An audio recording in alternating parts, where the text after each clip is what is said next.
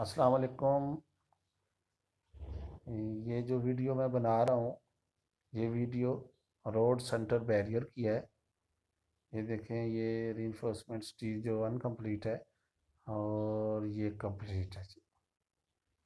ये इसमें देखें स्टील आया हुआ है और ये शटरंग के लिए रेडी है जो कि अभी शटरंग लगानी है। अभी ये अभी देखें जी आगे जी ये शटरंग यहाँ तक शटरंग लगानी है और ये स्टील देखें। इसमें ग्रेड सिक्सटी स्टील है और दस एम एम डाया ये देखें ये शटरंग लगी हुई है। इसके अंदर स्टील भी मौजूद है और वो आगे पोरिंग भी हो रही है।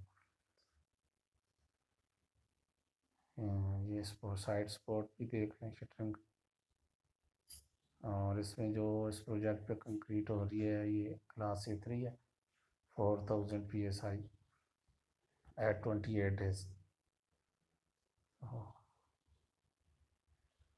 ये देखें, ये आगे जा रहे हैं, जहाँ पे टीएम खड़ी है, उसके करीब। और ये देखें, वहाँ पे मैं हूँ, ये भी इसमें कुछ इन्होंने माल डाला है लेकिन टीएम को शिफ्ट कर रहे हैं, दोबारा सही करके लगाने के और ये देखें इसमें कुछ माल पड़ा हुआ है, मज़ीद वो दोबारा डालेंगे। और ये देखें, ये जो कल की थी, और शटरिंग इसकी टाई है तो ये देखें फ्रेश है बिल्कुल सेंटर बैरियर गुड लुकिंग है इसकी, थोड़ी बहुत रिपेयरिंग आएगी इसमें। और माशाल्लाह बहुत अच्छी बनी हुई है। मज़ीद इसके ऊपर क्यूरिंग कंपाउंड होगा, ताकि इसकी क्यूरिंग भी हो जाए।